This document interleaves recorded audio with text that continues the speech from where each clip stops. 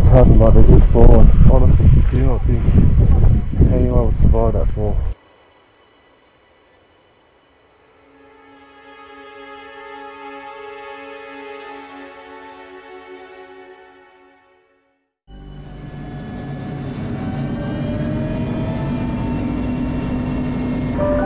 I had successfully found myself board in an old Soviet helicopter to base camp.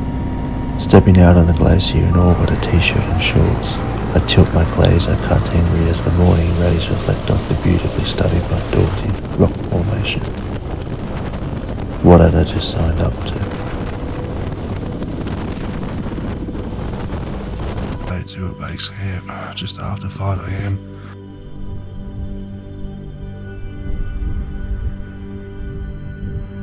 We're about to begin our ascent to Camp 1 begin our rotations and just drop off the food.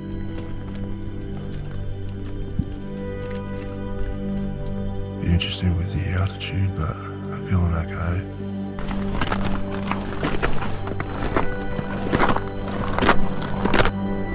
One hundred meters. 100 meters? Easy. Camp 1. Just had to dig my way out of a small crevasse. I felt surprisingly good throughout the initial climb, though I wasn't as fortunate the next time round with a bad batch of the runs upon my return to base camp.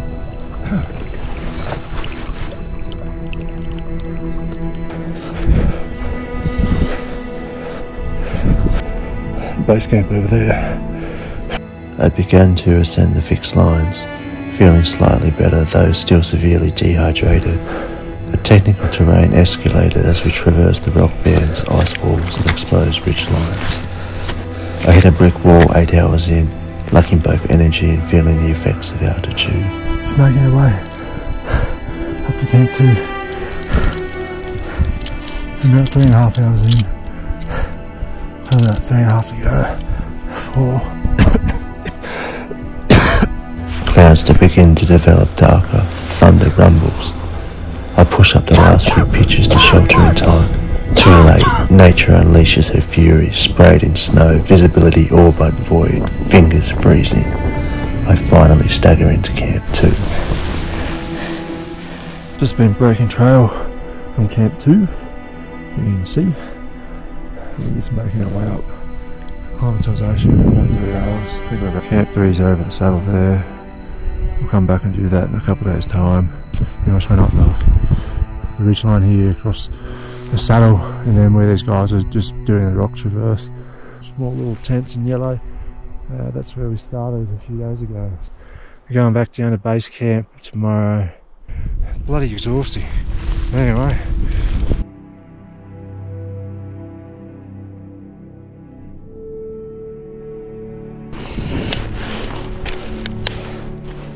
So just been rappelling down the mountain.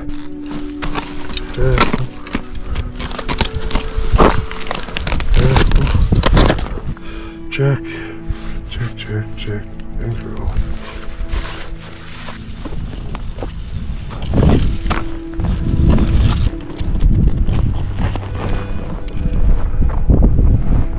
So just been napping um, from the descent from Camp 2 today.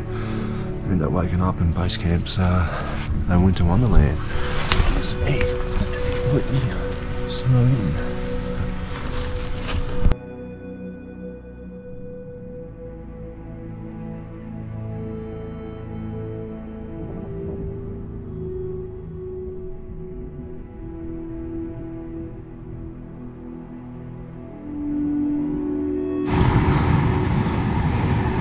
Just made up to camp two. It's about five o'clock.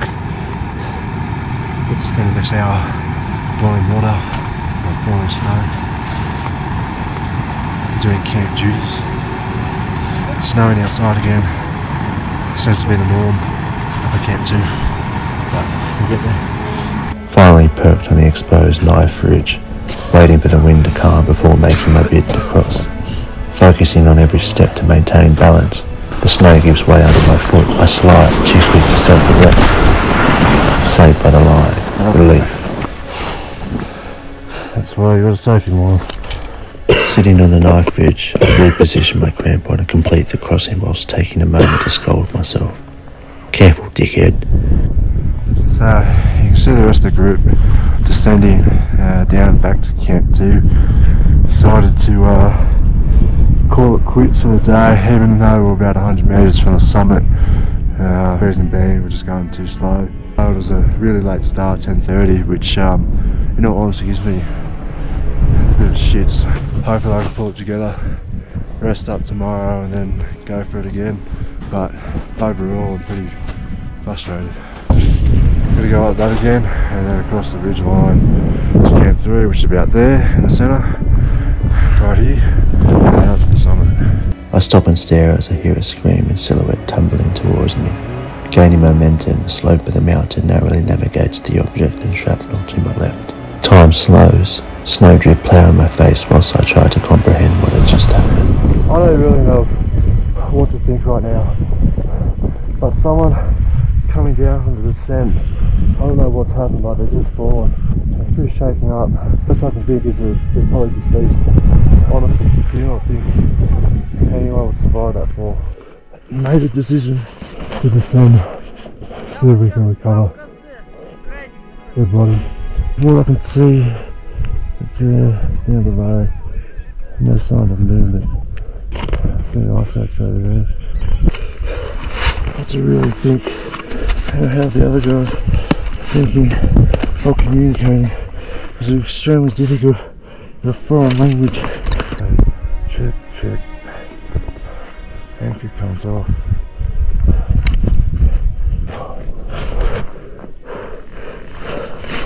It's dirty as fuck. On just in case.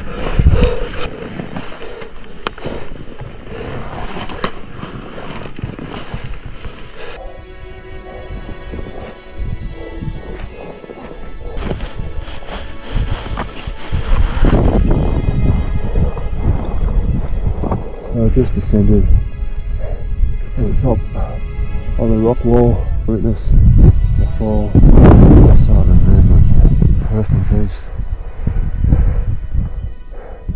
Condolences to the family. They're all roped up because it's crevasse territory. I don't know what to think right now.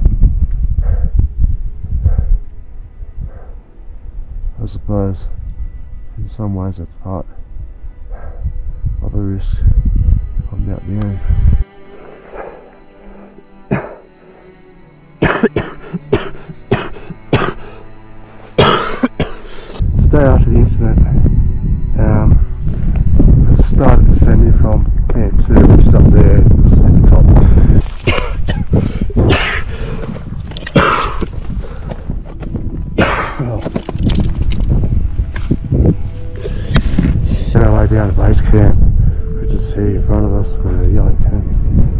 Uh,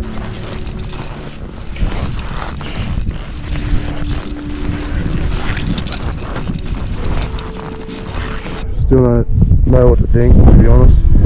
Uh, a lot of scenarios replayed in my head last night, but at the end of the day, nothing would have changed the outcome.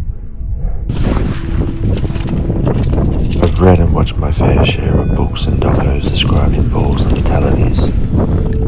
Never did I expect to witness such a horrific incident on my first expedition. As with most that take up this sport, I'm well aware of the risk associated with the hobby. Though, time has passed and I still don't believe that the reality of the situation has fully sunk in. It's the last hug